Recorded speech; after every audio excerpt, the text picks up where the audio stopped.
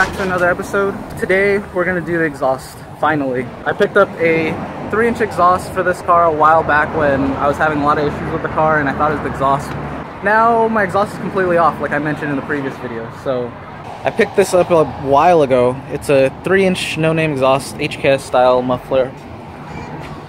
Um, I also got this DC Sports header and that's going on today too because everything's literally on the ground. So got the car already, took off the side skirts, took off the front bumper. It's a dirty mess. I haven't cleaned the engine bay since the drift day. Cleaned the car once, but that's about it. But here's what I'm talking about when I say the exhaust is literally on the ground. It is on the ground. So I can't really drive this, which is why we have to do it today because I really miss driving this car. Car's gonna be stupid loud. I mean, the car's like stupid loud as it is right now with exhaust completely off, but it's gonna be stupid loud with this. I'll give you guys a sound clip right now with the exhaust off.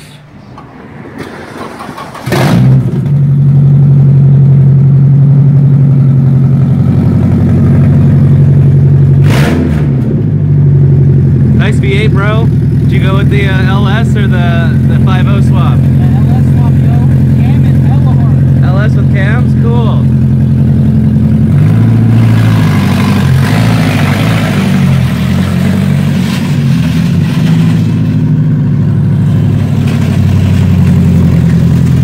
Surprise everyone, we uh, LS swapped it with aggressive cams. This is an exhaust video.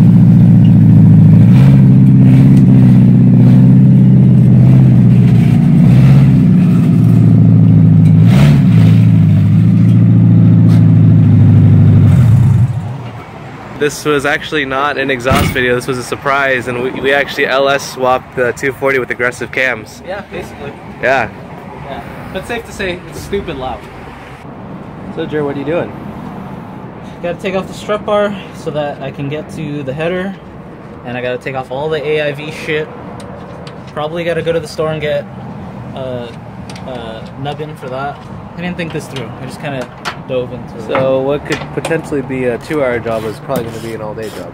Yeah, basically. I think I asked you earlier, but did you PB blaster any of the exhaust bolts? Nope. Nope, okay. And we're just going to take off one strut bar side? Yeah. Alright, doing things the uh, lazy way still. Good. If it would come off. Another pro tip, magnets are your friend. So whenever you're pulling off stuff from your car, have a dish. And if you have stuff that's already in the dish, you put it on another magnet right here. Talks about using magnets. Doesn't use magnets here. I mean, it's right there.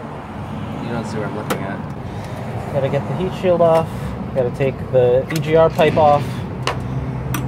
And then the header.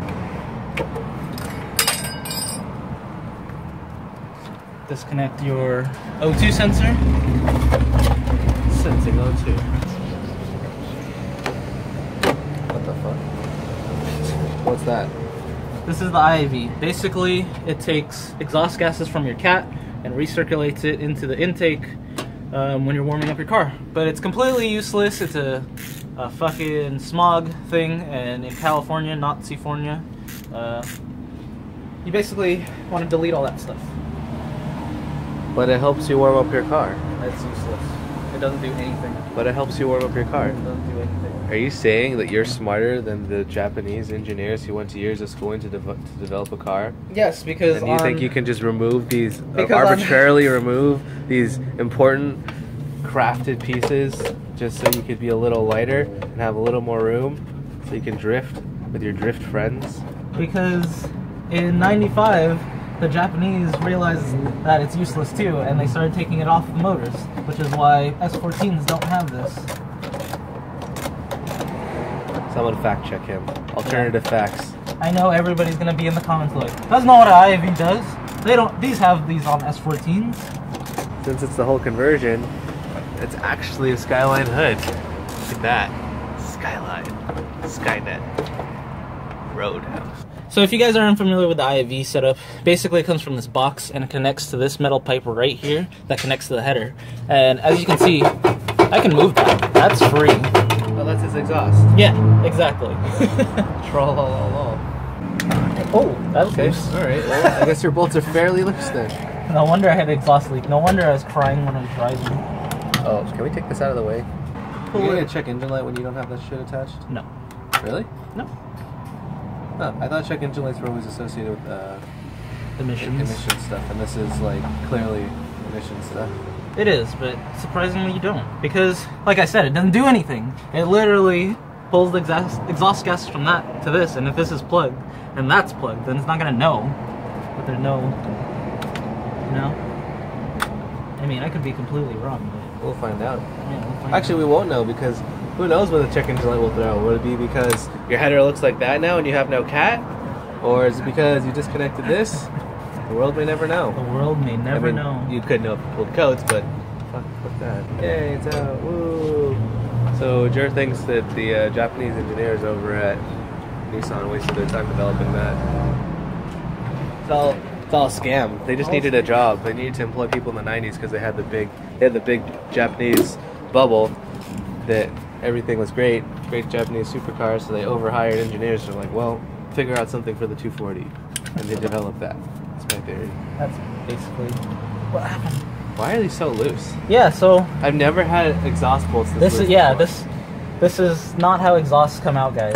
exhaust bolts are probably the worst bolts you will deal with in your life. the studs will come out. You'll strip Yeah. them. And these are pretty loose. Is that how that's supposed to be? Oh shit! Uh, no, No, that's there's a metal- broken. Oh, like snap? Yeah, that snapped.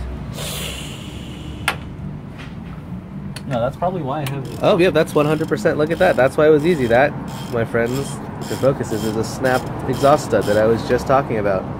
See the thread on the other side? Yeah, it's supposed to be longer and have threads.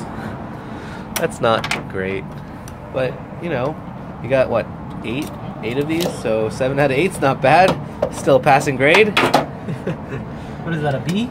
It's a B, solid B. Solid B. I fucks with that. Might even be a low A. Yeah. But back to what I was saying. Exhaust bolts are probably the worst ones you will ever deal with because they go through multiple heat cycles on the regular. And They expand and contract due to the heat. yeah. They're they always seem to rust. But that's probably why my car was so loud already. Okay, so under my console, we've decided to take off the hood in order to probably fit a jack handle on top of the wrench so we can get a lever arm going and get more force applied to that instead of just struggling with that short little handle from the wrench. So it was a great idea, but it's too too big and too small. And look at how that asshole parked. Um, Fucking fuck. But Both of them. Both people. yeah, fuck that fucking fuck. EP Civic and fuck this charge. So I went over to Napa real quick, picked up a 24 millimeter wrench. Um, cost 49 cents. So Because you return stuff. You're not going to mention that everyone's going to mob Napa for cheap tools now. Exactly. So a combination of ideas worked. Fulcrum arm, uh, vice grips, and penetrating oil, and it looks like we were finally able to break it loose. So, Ger, if you want to zoom in right there. power of, of vlog magic. Unless we were mistaken again, and that's really No, just, I can see it. Now. All right, success.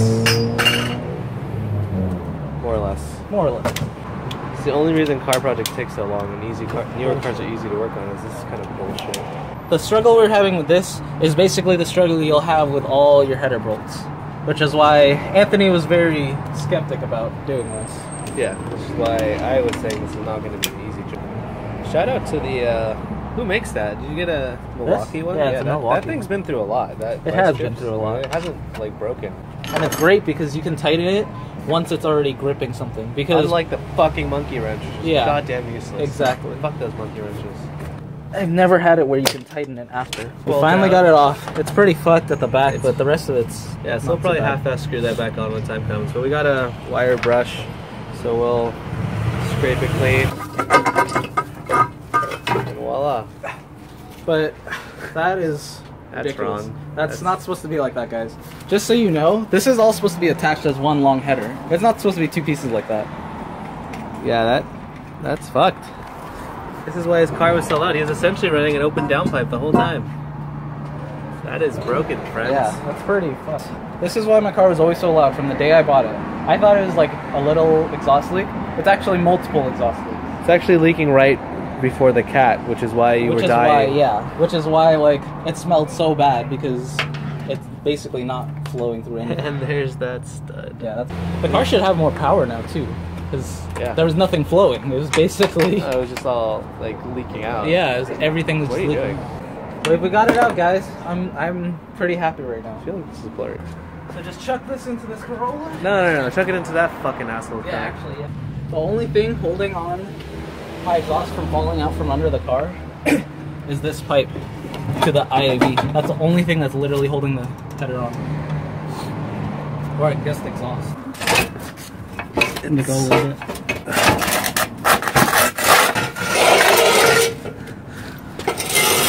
Alright, let's see the scrape marks on the bottom. Yeah. Yeah, the cat's still good. Great. All right, that's solid fifty bucks. Yeah. Lightly used, like I said, guys. Just a couple scrapes. Yeah, the, the important part's still there. Yeah. It'll work fine on your car. So look at all these craptastic welds that were all bound to. The, what is what is Yeah. that? I don't know. Was it leaking they repaired it? I don't know. That's like exhaust vent right there. It's not even a gasket. It's a good thing we're doing this. This is like one of those long overdue, should have done it when you bought the car sort of things. Mine was mine was weird. It wasn't it wasn't on. It was only for one side. Right? Mm, this should be fine.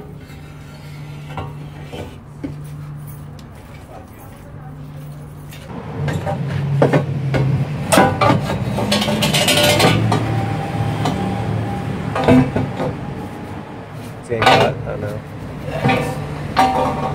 Ah, that was relatively easy. If I must admit.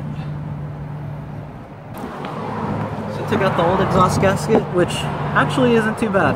Here's the new one. Looks exactly the same. All you have to do is press in these little things. I just pushed it on the ground like so, just to get them in. Knocked them out with that extension. Got it bolted up to the header. Put it, put reused the same gasket um, on the cat that I had before, and then I have new three-inch exhaust gaskets right here. So those I just need to tighten once I get that into the bushing. So I found that it's easier to put the new bushings on with the exhaust off the car because trying to get these on was a bitch. I had to use a little bit of PB Blaster just to lube it up, but it's a lot easier. So this just gets bolted back up to the bracket and then this just slides on once I put it up. Just got to put the last gasket in, bolt this up, and then attach it to the new bushings.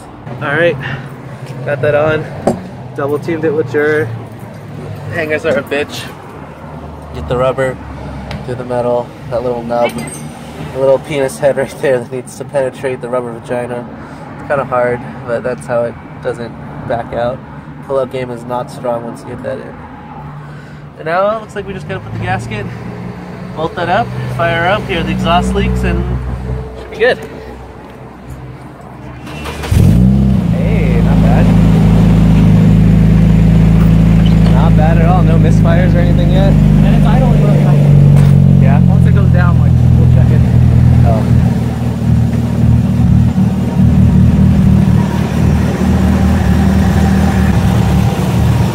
That's still leaking. Nope.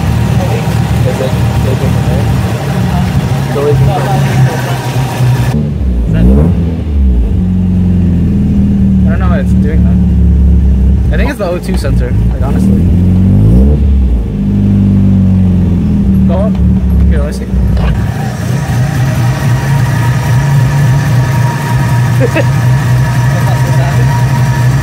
So, Jerry, you want to update everyone on the uh, situation that we got going on here? So basically, as you guys saw, it was idling super crappy. I'd say we spent about an hour trying to figure it out. Yeah, I also had a couple exhaust leaks which I fixed on the bottom side. I just had to retighten the bolts on the cat where it connects to the three-inch exhaust. Um, but basically, We fucked Like- with the distributor. yeah, we fucked everything. with the distributor. Was going around like everything. So we really thought it was the O2 sensor causing the problem. But then we started going around the car, and I started looking at like the back lines that were like that we swapped. So like this one is that it goes to the AIV, and I thought maybe that's the problem. So I disconnected it. It kind of like made it a lot worse. But then I plugged it back in, and it's still not helping. So then I kind of just looked around, and we saw this coming from the brake booster. This line is completely split. And then when we put when he And put when his I- finger yeah. to it, it completely made the car idle fire. Yeah, so it wasn't completely ripped like this. I had it like that, and I just put my finger to it, and it made the car idle perfect. Yeah. So complete curveball, wild wild card there. Wasn't anything we touched today. It just happened to be fucking broken. Yeah. So now Ger's gonna Ger just rip it off and go to Napa just in case they close soon. I don't know if Ger ever mentioned any of his other videos, but we live two blocks from Napa. He can run there in 30 seconds. Well, 25 because he's black. Bye, Ger. 10 seconds because Napa's closed. So I don't know what we're gonna do. But you think AutoZone will have it? Hoses? Yeah. Because now that really can't drive the Isn't that how it goes? You're working on one thing, and something else breaks while you're also doing that. Seems like the story of my life with this car. Psych. Exactly. No, they're just Lunchbox. Shit got wrecked. All right, so AutoZone coming in clutch was able to get my broken hose and get this nice long non-broken one. And we're not. They didn't have the exact size. They didn't have the exact size, but we got two just in case. And it's always good to have like extra lines for various projects. I also got these nubbins to close my intake, and this is surprisingly $4.99. They had single nubbins for $4.99. So this is a variety pack for $4.99. Where the fuck would you? Yeah, you're fucked. You're you need an angle. No, no. All right, so new hose is on there, nice and snug. Also got the nubbin on there, so it should be lit. Here's the moment of truth. On the dot, a thousand. Oh, and hell, look, it's our friend Rob, the tire guy. Hello, Rob, and his twin turbo 300ZX. Hi, Rob. This is for the vlog. The stock idle for 240 is supposed to be like. Okay, well, we're at 1500 now. 1100, 1000. Okay, well, 1000 it is. And that's how you set an idle. Just adjust the distributor, tightening the bolts back.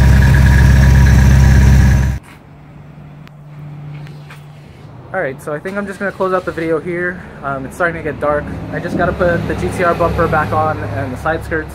But basically the exhaust is on. And we got all the problems fixed. The car idles good. We readjusted the distributor. So everything's Gucci now. Um, but until next time. Literally.